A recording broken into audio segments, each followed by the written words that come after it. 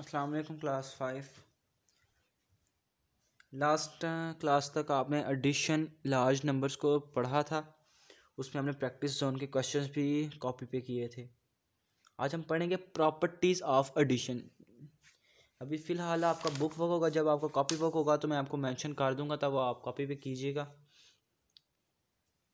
जो properties of addition के हम एडिशन करते हैं, जब एडिशन के बड़े क्वेश्चंस कर रहे होंगे, उसमें कौन कौन सी ऐसी प्रॉपर्टीज़ आएँगी तो वो हम देखते हैं। सबसे फ़र्स्ट प्रॉपर्टी जो आपकी बुक में है पेज नंबर ट्वेंटी फाइव पे ज़ीरो प्रॉपर्टी ज़ीरो प्रॉपर्टी नाम से पता लग रहा है कि इसमें ज़ीरो आएगा। देखते हैं क्या zero added to any number is equal to the number it लिखा हुआ है कि अगर ज़ीरो किसी भी नंबर में ऐड किया जाए ज़ीरो किसी भी नंबर में ऐड किया जाए तो वो नंबर इट सेल्फ दोबारा आ जाएगा। फॉर एग्ज़ाम्पल ये देखें, फ़र्स्ट वाला क्वेश्चन है आपके पास। Three three eight seven nine four six two को अगर हम ज़ीरो ऐड करें तो सेम उसी तरह का इट सेल्फ नंबर ये आपके पास आ जाएगा।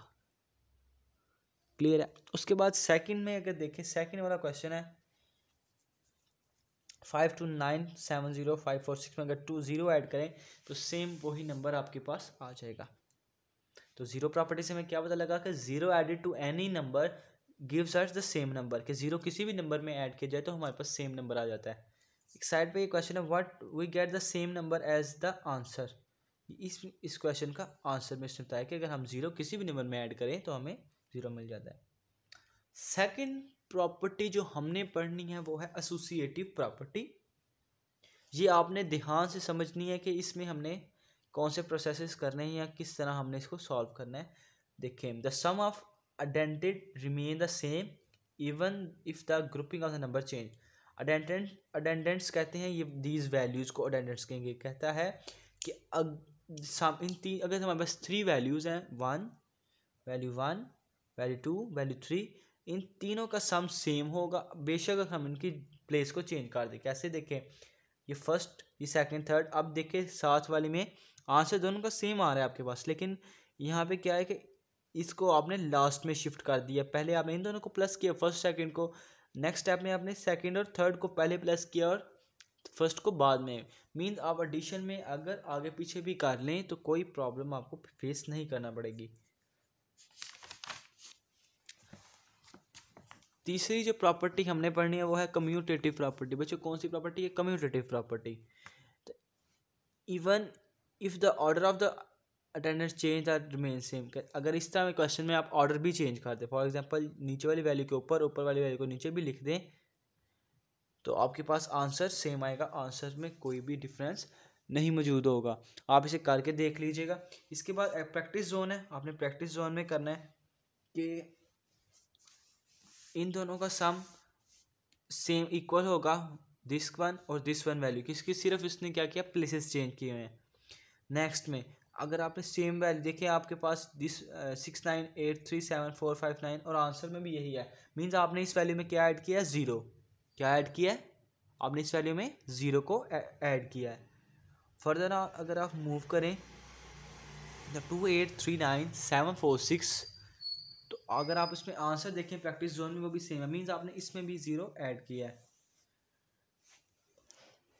अगर आप इस प्रॉपर्टीज़ को ध्यान से अगर स्टडी करेंगे तो आपको पता लग जाएगा कि ये इसमें हम एसोसिएटिव प्रॉपर्टी यूज़ करेंगे। कौन सी प्रॉपर्टी हमने यूज़ किया है?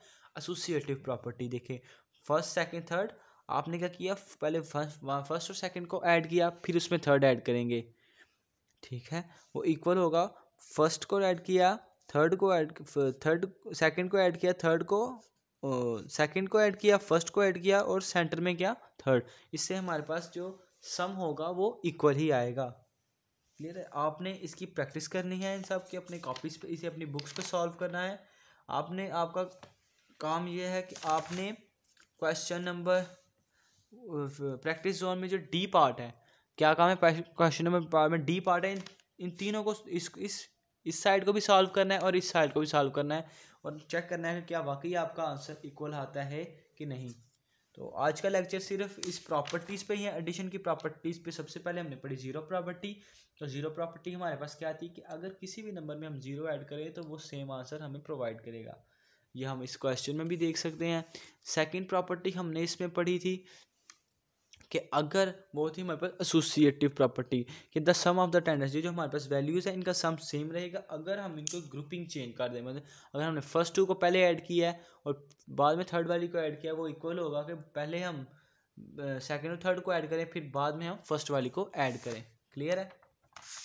थर्ड प्रॉपर्टी थी हमारे पास कम्यूटेटिव प्रॉपर्टी कम्यूटेटिव प्रॉपर्टी हमारे पास क्या है कि अगर हम उनके ऑर्डर भी चेंज कर दें मीन्स जो नीचे वाली वैल्यू जो बाद में प्लस कर रहे हैं, अगर हम उसे पहले प्लस कर दें और जिसे पहले प्लस करने से बाद में प्लस कर दें तो हमारे पास आंसर सेम रहेगा।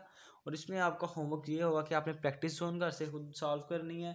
मज़ीद ये कि क्वेश्चन नंबर टू वन का डी पार्ट है, इसको आपने सॉल्व करना है। आज के लिए फ़िलहाल इतना ही। आप ये कीजिएगा इन हम नेक्स्ट लेक्चर में इससे आगे मज़ीद को पढ़ेंगे। नेक्स्ट हम सब्ट्रैक्टिंग लार्ज नंबर्स को डिस्कस करेंगे।